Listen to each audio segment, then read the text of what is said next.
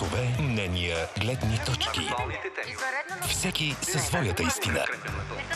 Но чуваме ли какво казва другият? За да стане говоренето диалог, търсим пресечната точка. Започва пресечна точка с Михаил Дюзев. Здравей, България, където и да си. Гледате пресечна точка, предаването, в което новините получават първия си коментар. Да се отнемат коли на шофьори, хванати с алкохол и наркотици, предлагат от прокуратурата. Предстои обсъждане в парламент. Но преди това ще чуем мнението на нашите коментатори по водещите теми в пресечна точка. В студиото са вече журналистката Ива Дойчинова,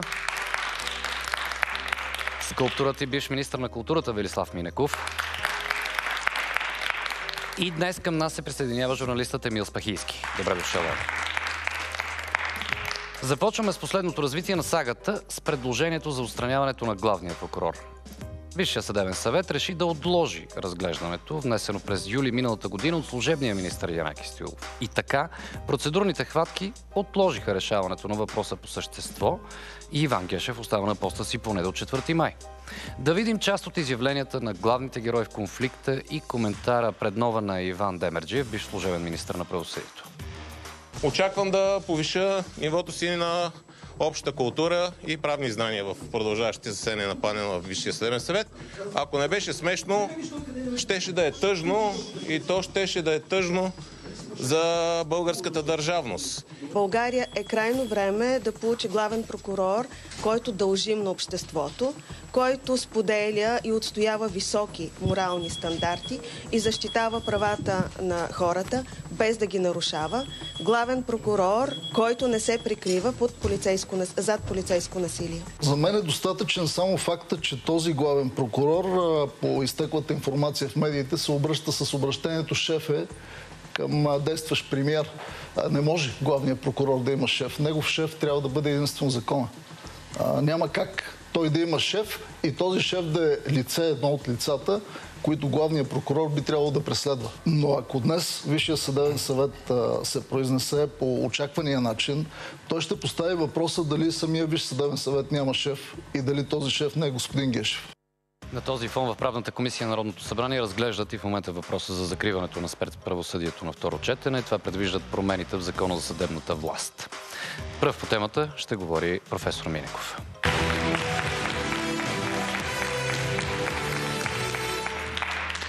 Чухте Иван Демерджиев. Той е прав във всяка една дума, която каза. Наистина главният прокурор има свой шеф и аз няма да бъда деликатен като Иван Демерджиев.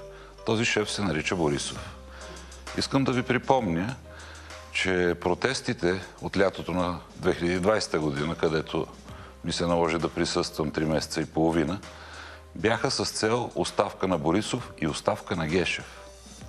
Три месеца и половина беше желанието на всички, които се включиха. Тогава се включиха всички градове, възможни в държавата ни. Протестът излезе в чужбина. Протестираха в Австралия, в Чикаго, в Рио де Жанейро. Но не се дава така лесно власт. И другото е, че целта е да оцелее както главния прокурор, така и Борисов. Те са абсолютно взаимно зависими. Борисов трябваше да е отдавна затвора, още повече след това тъжно интервю Мишо Бирата, ако си спомняте, да. скандалния случай. Може би щеше да остане за години само от тази точка. За всичко останало вече можем да търсим причини колкото си искате. Но двамата са обвързани. Наистина, Борисов е шеф на Гешев. Толкова ли е невъзможно да влезе разглеждане по същество и, пред, и предложението на бившия правосъден министр господин Стоилов, а и на госпожа Йорданова? Очевидно Висшия съдебен съвет не желая да гледа по същество сигналите, които са и в двете, които сега ще бъдат обединени. Това е спасяването на Редни Краян. Висшия съдебен съвет се превърна в група охранители, които не желаят да се разделят с този, да го наречем, работодател. Ще го бранят до последно. Но и Висшият съдебен съвет е изключително удобен по отношение на Гешев. А, честно казано, не знам как ще бъде спасен, но все едно той няма да е вечен. Имаше по време на първите протести срещу назначаването на главния прокурор Една група нещастни роми се включиха в протестите в защита на самия Гешев. Няма да забравя Ще ви припомня плаката, който носиха. Гешев, е радост. Е радост. да, това се превърна и в така, реплика, която се разпространява. Тъй като аз бях част от тези първи протести пред Народната палата, всъщност, освен групата роми, стоварени с рейсове и видимо нетрезво състояние, имаше младежи с черни фанелки, които стояха с лице един към друг и с гръб към нас медиите, напълно невербални хора, които на, на а, въпроса какво а, търсите тук на този протест, какво искате, как защитавате Гешев, защо това не е достойната фигура за главен прокурор. Нали, много значния и дълбоко аргументиран отговор беше с медии не говори. Та, от самото начало беше ясно как е нанесен Гешев на въпроса Мишо за това толкова ли е невъзможно.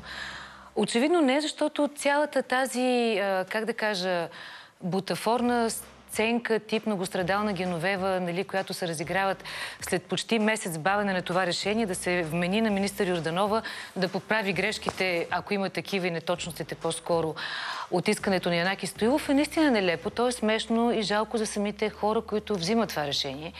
И тупат топката толкова нелепо. Сега, други въпрос е, че тези хора имат имена във Висшия съдебен съвет. Тези имена би трябвало да бъдат подплатени с една добра професионална биография. Все си мисля, че както ние журналистите, творците, така и един юрист, така и един член на Висшия съдебен съвет трябва да бъде особено внимателен за името си, защото с него отстава и с него ще продължи евентуално своята кариера. А, така че си мисля, че тези хора са доста вързани, защото са свързани и дори нямат желание да измият лицето името си пак казвам, дано да има поне един прокурор от системата или съдия, който все пак да направи знаковата крачка. Емина Спахейски, доколко и какви основания биха му, така, доколкото си запознат, а и обществото в тези искания, които сега предстои да бъдат обединени за отстраняването на главния прокурор? От годините така опит в журналистиката, от този момент нямам ясен спомен на тези 30 години – да е имало безспорен главен прокурор. Всеки един от тях е бил сменен, защото са виждали в него заплаха за демокрацията. Сменян или желание да бъде сменен, пък те си изкарват мандати. Големият проблем всъщност, ако се прави реформа в правосъдието, е да се направи по такъв начин, че главният прокурор да си върши работа като главен прокурор и като а, първи сред равни, а не да бъде политическа фигура. Големият проблем на всичките тези години е, че на главния прокурор винаги се е гледал като на фигура и на позиция, която трябва да бъде владяна от поредната власт, за да може да, да има на първо място да има безнаказано за тези, които крадат във властта, за да има някакъв чадър върху тях, което се прави. И колкото по-дълго време една власт се задържа, толкова повече има нужда от този чадър. Защото от край време знаеме, че рано или късно всеки, който е на власт, злоупотребява с нея. Затова Нали, демокрацията е измислена така, че да има някакви цикли, да се избират хората, да сменят министър-председателите, да сменят министрите, президентите да имат два мандата прекоси или не като в Русия. Да. И по този начин аз смятам, че а, ако се прави реформа, тя не трябва да бъде реформата просто да махнем Гешев, а трябва да се направи наистина такава реформа, която да гарантира и при следващата власт а, тази позиция да бъде по такъв начин, че да бъде в полза на народа, т.е. на справедливостта и да се занимават с кръците и бандитите, ние скоро бяхме свидетели на това как България задържа министърка на Румъния, която с 8 годишна присъда за корупция, която влезна в ареста с фанелка за 650 долара, което показва, че в някои държави борбата срещу корупцията по висшите етажи работи. При нас това не се случва и не се е случвало.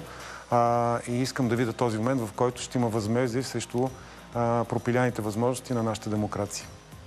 Но ето реформата, да кажем, че е в ход. В момента парламентарната комисия обсъжда на второ четене закриването на спецпрокуратурата и спецсъда.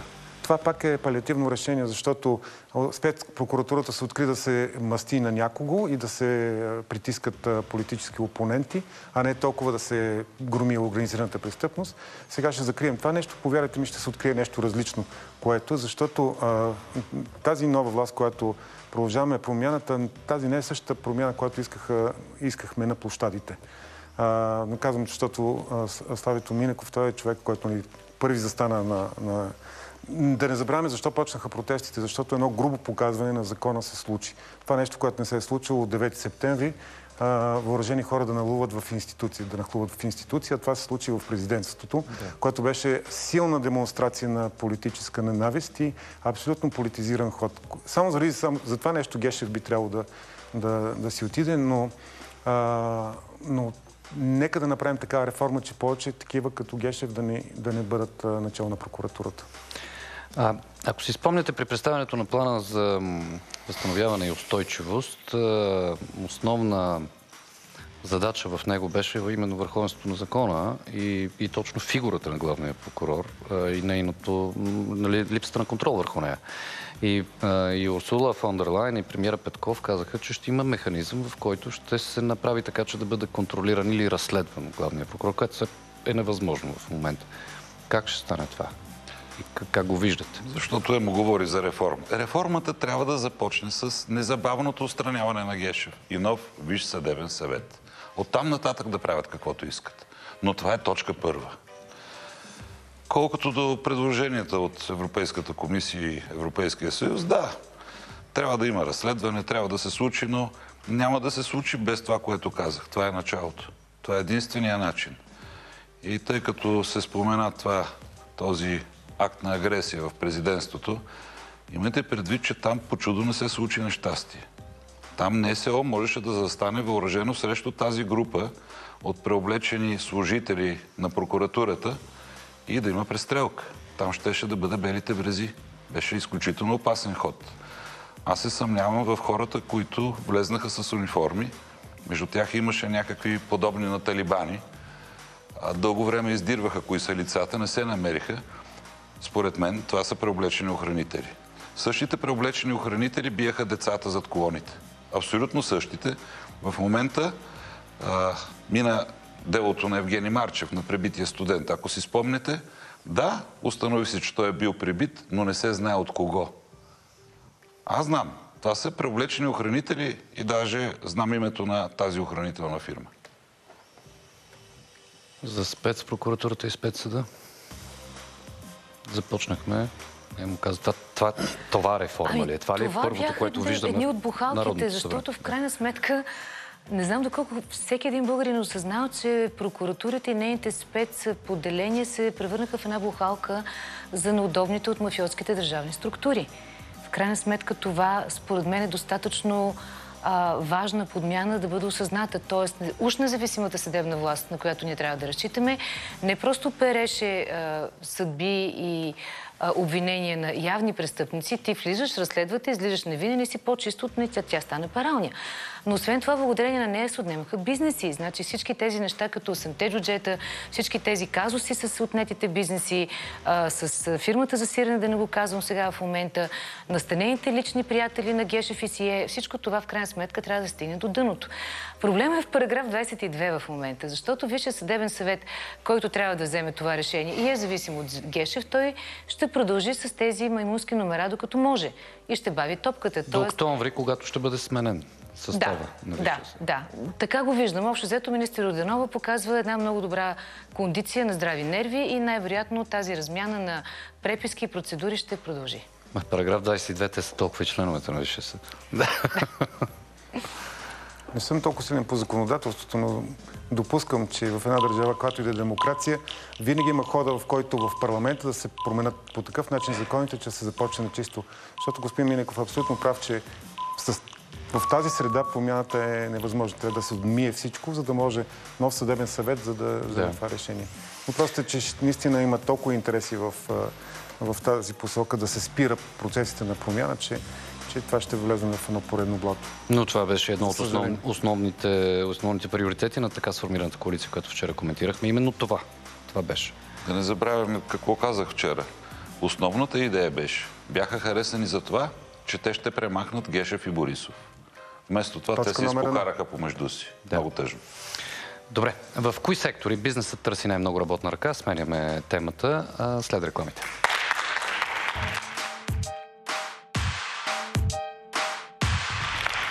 Вие сте с пресечна точка втората ни тема. Докато по време на пандемията работодателите бяха несигурни и не назначаваха нови служители. Сега има известно раздвижване, показва изследване на Българската конфедерация по заетостта.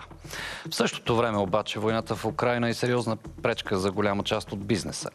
Да видим още данни и ще коментираме.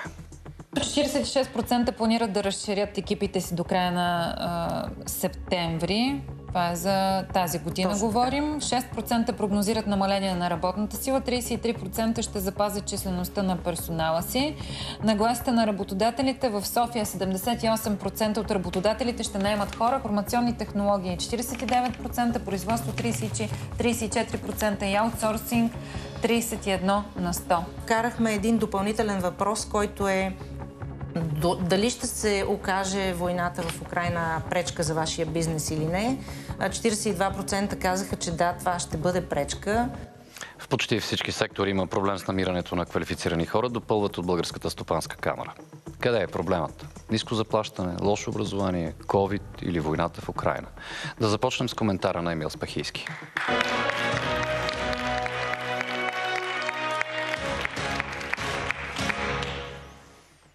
Има една такава максима, независимо дали се интересуваш от войната, тя се интересува от теб.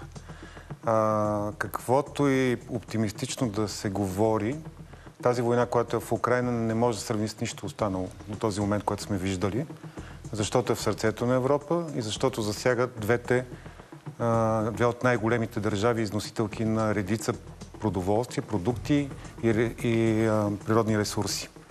Русия и Украина в момента все още има инерция, такъв един лек оптимизъм от края на пандемията, който още не е край, но така или иначе се отпуснаха юзите по целия свят. Пандемията доведе до една криза, кризата доведе до война. А, първата криза на пандемията прекъсна страшно много а, пътищата ги прекъсна на доставки на много суровини и се забавиха страшно много процеси в економиката по света. Так му се видя лек оптимизъм от цялата работа. Като почнем авиация, туризъм, снабдяване на части, производство на части, на чипове, на кабели, на каквото, каквото човек не се сети, това може да изброи. В момента тази криза води до още по-голяма криза, която най-вероятно ни очаква, защото а, ембаргото, което се слага върху Русия в катастрофално големи размери, каквито никога не сме виждали в цялата история на човечеството до този момент. Пълен блокаж на економиката на Русия, а, която е основен износител на газ към Европа и на цялата Менделеева таблица по, по веригата. Украина и Русия заедно са едни от най-големите износители на, на, на, на жито, на зърни култури, на, на слънчоглед това няма как всичко това да не се отрази на, на економиката в света. И у нас няколко, виждаме в нагласите Няколко стотин компании прекъснаха дейността си в Русия и в Украина. Говориме за изключителни големи концерни. А, Русия спира да плаща по външния си дълг пари. Това говориме за 12 трилиона долара. А, само загубите на една компания от Западна Германия, няма да споменаваме марки, се сравнява някъде около половин трилион толкова се очертава да бъдат загубите на тази компания. А, Украина има а, няколко хиляди души, които работят за автомобилната промишленост, в Русия също, които са производители на кабели, на, на каквото се сетиме в, в веригата. Това ще забави много процесите в економиката в Западна Европа, а ние като България, като едно малко колелце в голямата машина, просто ще се въртим по-бавно или просто ще ни бъде смачкано. От сега виждаме загубите, които се очетават по туризма. Виждаме как бизнесът трудно се справя едно заради повишаването на цените на, енергоносителите, така и от, не бих казал, прекрасното и адекватно поведение на правителството и правителствата. но не мисля, че тук някой ще ни пита колко сме оптимисти, просто това ще ни засегне по някакъв начин. Надявам се много бързо тази война да приключи като по чудо, е така, да се събудим една сутрин, да кажем има мирен договор и почват някакви преговори, за да може да се събуди економиката.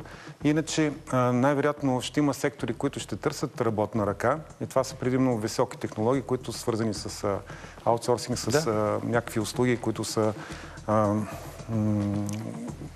писане на компютър, но така не, че пък компютрите се, как се казва... Трябва да се произведат от нещо. Трябва да се произведат от нещо и там да поскъпват а, всички тези компоненти в ценообразуването от mm. енергия и да, дори само поддръжката ни на офисите става много по-скъп, отколкото преди това. Добре. Така че това ще има, по, ще има страхотно отражение върху работния пазар в България. Ива? Доста песимистична картина ни нарисува. Тя е оптимистична да. в този вариант. Да, това е економически анализ, само че колкото и са тежки санкции, санкциите срещу Русия, тя на ден прибира и продължава да прибира повече от продадената газ, която продължава да се тече под Украина в посока на Европа и още никой не е намерил... Но на по-високи цени. Да, на по-високи цени, но въпреки всичко, нали, самата Германия обяви, че от 2300 ще разчита на тази газ. Русия все още е сравнително добре печели. Според мен санкциите не са чак толкова ефективни все още. А, иначе в този анализ е много интересно, сега не знам дали не бъркам, дано не съм запомнила правилно процента, че в София над 70 и няколко процента от фирмите ще наемат нови Ще наемат, да, но в сферата на високите технологии. А, да, най- но във всички случаи това означава и не само последствия от войната като цяло, а едно лошо сцепление между образование и бизнес, което пак от години наред си ходи. Надграждаме малко темата от вчера с а, учебниците за напреднали, които всъщност е една много малка половинчата част от необходимостта изобщо на реформа в образованието, което да бъде ориентирано прагматично и векторно към посока на бизнеса, от който има нужда. Защото в момента и в този разговор по нова телевизия се чу много ясно, че ние ще таргетираме българи от чужбина или изобщо международен тип някаква трудова сила, за да може да запълни празнините тук, защото ние такива хора не обучаваме и не произвеждаме, да. което действително е един много голям проблем. Тоест, ние ще бъдем адекватни на всяка криза, защото всяка криза първо е неизбежна. Второ, другото клише е, че всяка криза е възможност. А ще бъдем адекватни, когато се научим много по-бързо да следваме искането на бизнеса, да се дигитализираме, защото все още има бизнеси, които не са дигитализирани, да се преквалифицираме. И в крайна сметка в цялата тази тема има една добра новина. Ще се търси работна ръка, въпреки опасенията на 40% от бизнеса, че ще има някакъв вид последствия от войната. Добре, успя да изведеш по, по позитивния момент от анализ. Да. Професор. Забравяме за щетите, които бяха наносени, нанесени от подаряващия кученца. Сигурно се досещате за кой говоря, нали? Да. Един изключително елементарен и простоват въжеиграч, политически въжеиграч. И да ви припомня за онази величава тръба, която построихме за една година, наречена Балкански поток. Всъщност тя беше турски поток, а истината, че тя е един руски поток. В момента за найем... С наши пари. Да, с наши mm-hmm. пари. И в момента найема ще си го получим в рубли. Тези рубли можете да ги окачите в туалетната на Пирон и да ги използвате както пожелаете. Едното. И имаше и още нещо, което абсолютно забравихте, че този същия ни купи един ръждясъл самовар в голям размер, определен от него като ядрен реактор. Това нещо лежи. Този москвич е в гараж. Единственото, за което можем да го използваме за в бъдеще е като а, казан за ракия, примерно. Нищо повече от това. И трябва да сме му благодарни да му целуваме ръцете. Какво ще се случи обаче с, а, с бизнеса? Защото тук Емос Пакийски направи тежък сценарий, който каза, че е оптимистичен. Да, да, но... А, Ива все пак каза, че наистина, да, извода е, че ще се търси все пак работна ръка в един или друг сектор. Според вас обаче? Не виждам нищо светло в бъдещето. В момента вижте какво става и в Европа, какво става в Германия. Там също се качват цени, там фалират предприятия заради новата цена на газа. Не се знае какво ще се случи с отоплението през следващия сезон. И ние страдаме по същия начин. Цяла Европа страда заради това безобразие, това безумие на един международен престъпник, който вече е обявен сигурно за издирване. И пак има етап, едно парадоксално число в този анализ, че безработицата пък така или иначе не се увеличава. Ние очевидно имаме непрекъснато изтичане на, на хора или нежелаящи да работят хора и то в основни браншове. Имаме страхотна липса, търси се. В селското стопанство търсят хора. Колкото и да има проблеми. Колкото... Ама Ти говориш за хора, които трябва да работят.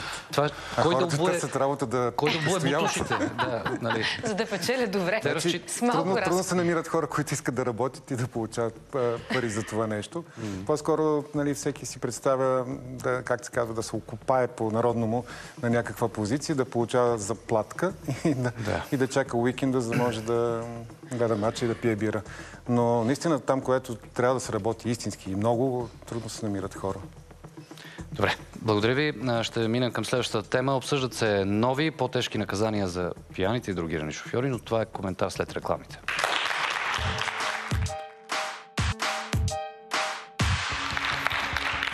Гледате пресечна точка, третата ни тема. Прокуратурата предлага да се отнемат коли на шофьори, хванати с алкохол и наркотици, но само ако е причинена смърт на пътя или промилите са над два. Преди ден млад мъж загина в катастрофа в община Стара Загора, предизвикана от пиян шофьор. Здравейте, това е мястото, където е станала тежката катастрофа. Това е пътят Нова Загора, Стара Загора. Автомобилът, шофиран от 23 годишният мъж, употребил алкохол, плюс това няма свидетелство за правоуправление, се е опитал да направи завой или обратен завой, каквото и да се е случило на среща. Имало автомобил, който се е блъснал в него и от тук насетне следва трагедията. Виждате половината от мантиналата, тук вече няма. Автомобилът е паднал в това дере. Наложило се дълго време да бъде извършена спасителна операция, за да бъдат извадени и младежите от самият автомобил. На място е пристигнал буквално минути след инцидентът кметът на Калитиново. Как ще коментирате причината за катастрофата? Ясна е според всички употреба на алкохол плюс неправоспособност, т.е. няма свидетелство. Не искам да обвинявам никой, но постъпката с чувството за безнаказаност най-вероятно е надделяло. А и това трябва да бъде едно послание към всички млади хора и към всички. Не, не карайте употребили алкохол алкохол и под въздействието на каквито и да е субстанции. Последствията са, последствията са трагични. За предложението да се отнемат колите на пияни и другирани шофьори, експерти смятат, че подобна мярка трудно ще проработи, защото има опасност тя да не може да бъде прилагана, например, ако колата не е собственост на пияния шофьор. А според бившия вътрешен министр Емануел Йорданов, тази идея е стара и е чист популизъм. Какво мислят нашите коментатори? Първа ще бъде Ива Дойчинова.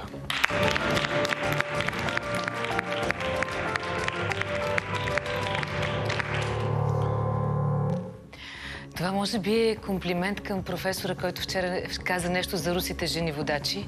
И така, че се доверихте на моята експертиза. А, сега, тази идея, доколкото разбрах, има някаква европейска практика. Т.е. доколкото разбрах, Франция и Германия стигат до подобен тип а, санкциониране на превозното средство. Като цяло обаче тя трябва да бъде изключително добре юридически издържана и издълбана до последния възможен конкретен казус.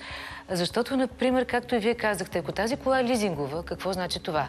Държавата я взима и започва да изплаща лизинга ли или лизинговата къща спира да получава парите си.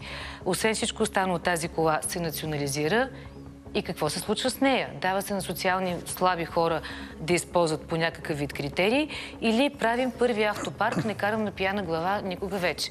Нали, леко иронизирам в момента, но в крайна сметка просто да. тази кола се взима. Трябва да стигнем до края на това изречение. Какво се прави с нея, на какъв принцип се прави това, кому се отдава или държавата национализира, където влизаме в някакви много по-сериозни теми. Тоест, както си коментирахме и вчера за учебниците, струва ми се, че когато някъде, някъде има един много грамаден системен проблем, защото смъртността от началото на годината, на тази, надвишава миналогодишната и в крайна сметка, колкото и да говорим за стил плакатен при на войната на, войната на пътя или нещо подобно, тук отново имаме много, много натрупани системни грешки. Първо, състоянието на пътната инфраструктура, тире слоги. Значи, ние там отново, доколкото си спомням, поправете ме ако греша, не стигнахме до конкретни виновници, наказания и така нататък, защото в асфалтовата настилка имаше елементи на сапун и други такива неща, които намаляват сцеплението. Тоест най-големите и най-трагични катастрофи са станали на много места, на които пътната инфраструктура просто не е добра. Не е нужно държавата и съответните а, институции, свързани с безопасността на движението, да слагат едни големи черни точки на възловите кръстовища. Аз виждам едни и същи от години на тези конфликтни места, на които има много жертви, но това нито променя радиуса на завоя, нито наклона на пътя, нито качеството на настилката, нито каквото и да било. Тоест, голямата несвършена работа за толкова много жертви не е само в младите хора, които като въпросния 23 годишен младеж взели завоя на обратно в пияно състояние. По никакъв начин не обвинявам не само младите хора, а не уневинявам всички хора, които карат пияни. Това въжи и за хората, които карат другирани. Но доскоро все още нямаше система, която достатъчно надлежно да провери тестове, дали да. човека е другиран и от какъв точно микс и коктейл от неща се е почерпил. И кога го е приел съответно. Именно. Така че в цялата тази много, как да кажа това, зрелищно предложение, което би трябвало да стресне повечето от нас, шофьорите, аз отново не, върши, не виждам нито довършена мисъл, нито цялостна реформа. И ако се направи един много сериозен системен анализ защо катастрофите у нас са толкова много, не знам дали поведението на водачите и тяхното състоянието на промилите в кръвта им или на наркотични вещества са на водещото място. А, тоест, а, как да кажа, леко ми е обидно през годините ние да говорим за едно и също нещо. Ние ще повторим този разговор и през август, най-вероятно той ще мине и пресечна точка след приключването на летния сезон, за да си кажем едно и също. Отново за войната по пътищата. И отново пътувайки този Пловдив към, този уикенд към Пловдив, състоянието на автомагистрала Траки е абсолютно трагично. Средното платно е пълно с дупки, то е опасно, всички карат в скоростната лента, защото тя е единствената горе-долу, нали, по някакъв начин скърпена. И отново нашите данъци не е много ясно как се форматират да. в качествена пътна инфраструктура. Мантинелите мантинели не ги наричаме или някакъв вид малко по-грубичък станьол. Съжалявам, но тук има много, много проспани глави, преди да стигнем до взимането на колите. Кое натъжава, професоре? Предложението е парадоксално, направо комично наказват семейството и близките на пияния шофьор. Затова предлагам нещо много по-мъдро. Да се издирят приятелите по чашка на шофьора, да бъдат наказани с две седмици принудителен труд и да им се забрани всякакъв алкохол в продължение на три години. Независимо дали това става пред кола, зад кола или в кола. Другото е да се отнеме на шофьора любовницата, която е съучаствала и да му се отнеме и тъщата, която толкова му помага вкъщи. Повече, по-голямо наказание от това едва ли ще има. Кое натежава обаче в, тази, в, в статистиката, за която говорим? Състоянието на пътищата, дисциплината на шофьорите, скоростта. Знаем, че МВР винаги сочи да кажем скоростта като основен причинител. Мене получават една разбита държава. След 12 години една унищожена държава. Нищо не работи в нея. Пътищата са разбити. Системата в МВР е разбита. КАТ е неясна организация. Не знаят какво да правят там, като попаднат. Не знаят кого го обяват. Може да е мощен, може да е част от правителство, може да е роднина на министър. Хаосът е пълен. Законът е забравен. Това е. Тоест, това, че масово се качват пияни и другирани хора е, е беззаконието, усещането за беззаконие, липса Дали? на контрол. Липса на контрол категорично. А, тези безумни идеи винаги се раждат след някакъв обществен дебат по повод на конкретна катастрофа и винаги се така, извира просто от гениални идеи, които не вършат работа. Има нещо много просто, което върши работа и то е прилагането на закона. Фанат с алкохол, отнемаш му книжката за няколко месеца, мачи му отнемаш книжката, не е той просто да продължава кара. Ако кара с отнета книжка, влиза в затвора. Това вече е последователност, има логика. Втори път кара, примерно след 6 месеца, отнема му се за 5 години, накрая му се отнема за винаги и точка по въпроса. Нещата работят в някои държави и те като, когато знаеш, че имаш, как няма, няма начин да се отървеш от закона, тогава ти внимаваш и много внимаваш какво правиш. Защото всичко, ако върнем към първата тема, всичко идва и от, от правораздаването и най-вече корупцията в правораздаването. Защото вие, ако погледнете как хора, които са извършили престъпления, излежават присъдата си, как им се спестяват годините. Като минем от това, че дори на пътя можеш да си откупиш а, вината, можеш в а, това, което е най-голямата, най-големия грях на следствието и на прокуратурата е това нареченето смачкване на дело, което Ива говореше за изпирането на, на, на престъпленията. за, те, те, това си техен, техен термин на смачкване на следствието. Ти като допуснеш някаква грешка по време на следствието, то не може да издържи в съда. И тогава дори да си убил хора на пътя, ти можеш да се размиеш с условна присъда, защото без доказателство съда не може да те осъди. Това е толкова ясно и просто. Затова, ако законите трябва да са адски прости и да се прилагат по най-бруталния начин, така че да няма отърваване от закона, тогава всичко ще сработи. И от тук и тръгваме вече към всичко това, което се изговори. Ако примерно тази катастрофа имаше здрава мантинела, децата нямаше да паднат в пропаста. А там някой е взел пари, за да сложи некачествена мантинела. Защо там има на това е скоростен път, там доколкото видях? Да, защо има... Защо има място, където може да, да се обръща кола? Да. И това са неща, които агенция пътища, това са КАТ, които трябва да отговарят за тези неща. Защото когато има предпоставки за катастрофа, рано или късно тя става. Няма как да не стане. Тук в София е пълно с такива места, където знаеме, че стават катастрофи и са подавани сигнали, че не е правилна маркировката, че няма видимост, че примерно светофарите работят по объркан начин. Не, няма никаква. И там винаги си стават катастрофи. Как се оправдават с това? Как кажа, несъобразена скорост на пътя. Да, да, скорост. Което е абсурдно само по себе си. Няма, това не е правен аргумент, несъобразена скорост. По-добре служи знак, като трябва да е над 30 км в час, не трябва да е над 30 км в час. И това, от тук е целият проблем. Защото а, ако, дай Боже, един ден заработат законите а, абсолютно категорично, ще видите, че тези закони, които има в момента, са тежки. Там достатъчно много наказания за хората, които извършат престъпления на пътя, но те просто не се прилагат. Но всъщност ние започнахме това предаване с Гешев и завършваме с Гешев и с правораздаването и с това не, че проблема не, че нямаме закони в това, че не се спазват, за това, една дума, която това се казва корупция просто. Това се казва корупция, тъй като така или иначе тънката червена линия на професора винаги е за строители на магистрали и за подаряващия кученца. Може би това беше и основната идея да завършим с качеството на магистралите, по които никой не трябва да кара с 120, защото те не са магистрали. Благодаря ви. Ще караме по пресечните точки и утре, веднага след новините в 16.